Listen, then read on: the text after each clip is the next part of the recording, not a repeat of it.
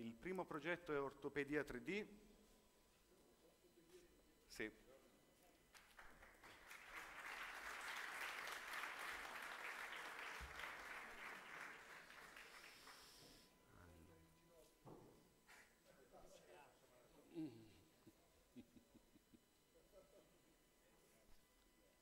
Questo è il telecomandino. Eh, sono sette minuti.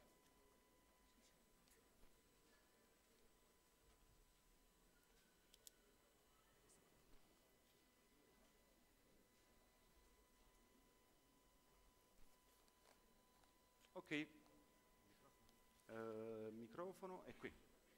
Microfono è qui, prego. Quindi possiamo considerare la maratona aperta, in bocca al lupo a Ortopedia 3D.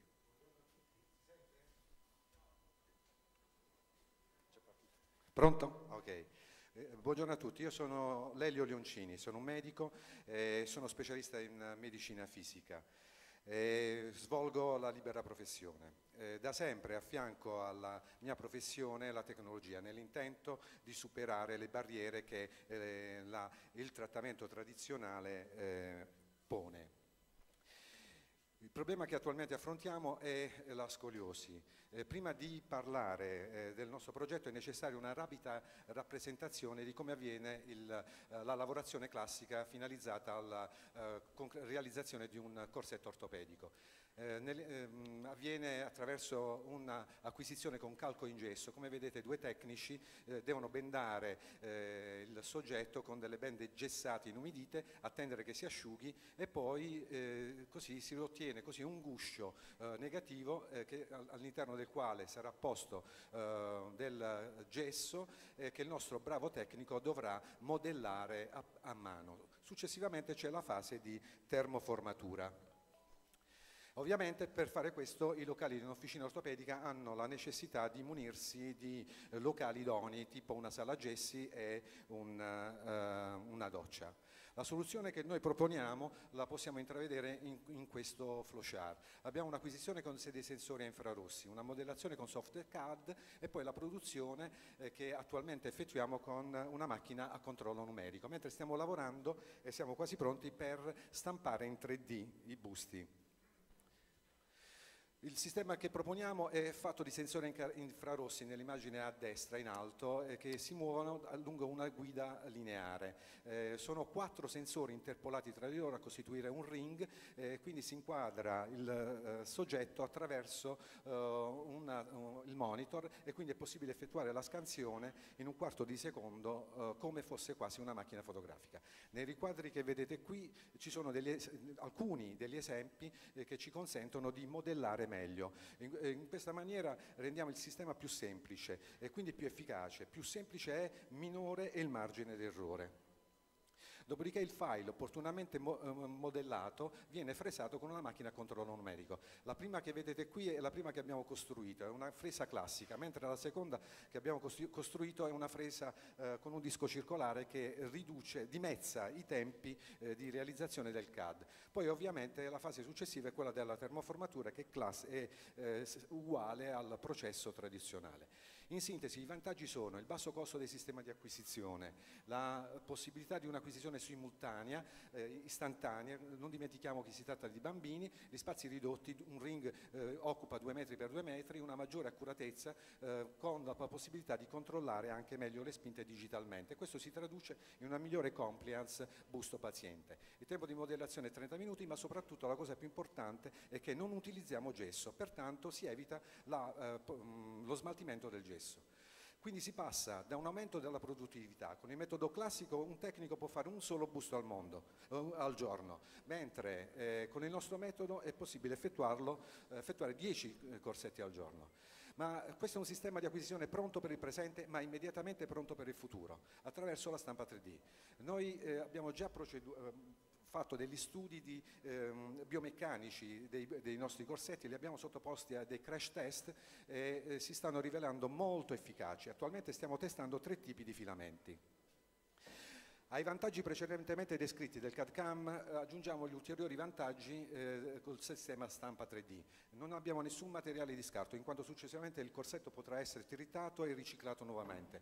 Possibilità di, di effettuare delle modellazioni successive attraverso una pistola termica, il peso notevolmente ridotto, i costi notevolmente ridotti, eliminiamo le armature e ovviamente il manufatto è esteticamente eh, migliore e traspirante. I nostri competitor sono eh, costosi, richiedono dei tempi di acquisizione lunghi, imprecisi e, e ovviamente hanno difficoltà se il soggetto è in movimento.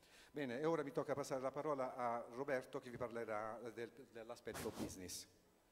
Allora, noi abbiamo definito il modello di business in tre fasi. Ci sarà la prima fase di vendita delle, del sistema di acquisizione del ring, poi formeremo gli operatori nel, sia nell'acquisizione che nella modellazione in campo medico e poi attiveremo dei service sia in, uh, per lo sviluppo del CACAM e successivamente in stampa 3D. Uh, eh, abbiamo valutato solo per il mercato italiano 4.000 potenziali uh, clienti tra officine, medici, e medici specialistici. Il mondo è da vedere poi insieme agli investitori eh, la parte tecnica. Già da Expo abbiamo avuto un primo uh, test sul mercato, Expo Sanità insieme a WASP abbiamo avuto già 20 prenotazioni, quindi c'è stato un buon uh, ritorno. Uh, la roadmap, come vedete, è lunga, abbiamo sperimentato tanto e adesso siamo sicuri che il sistema funziona. Pertanto siamo pronti entro dicembre 2016 a partire con la produzione entro dicembre 2017 a piazzare almeno 50, eh, formare la gente e attivare i service fino ad arrivare a 2017 con la vendita di 150, siamo andati proprio a ribasso. Uh, però stiamo già lavorando, tutto il lavoro che c'è stato fatto, stiamo già lavorando per il futuro, infatti vedete qua ci sono uh, tutta una serie di servizi che si possono fare attraverso la scansione, fino ad arrivare all'ultimo in cui stiamo facendo un progetto sulla tele, in cui arriveremo proprio a creare delle protesi realistiche con, uh, col, con in silicone. Chiediamo 150.000 euro per poter attivare ricerca, sviluppo e marketing. Siamo un gruppo uh, di professionisti che lavora comunque tra ingegneri uh, o... e questo è il video.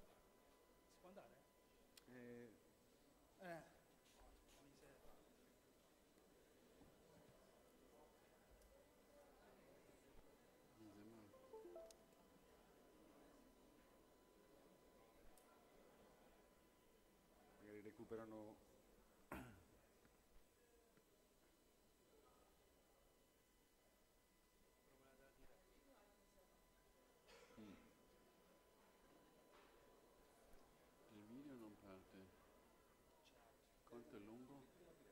Qualcosa in background.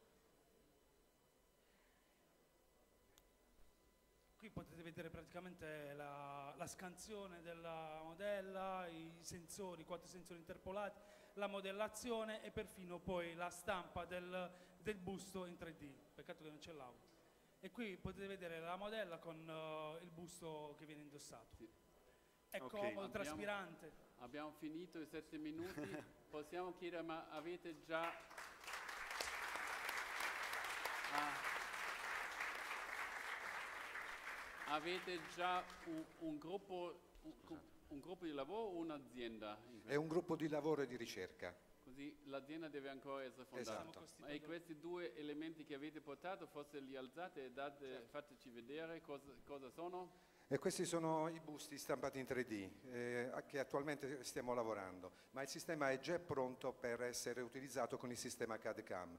Quando sarà pronto il filamento potremo finalmente stamparli in 3D e quindi con degli ulteriori vantaggi. Grazie. grazie. A voi. Grazie. Grazie.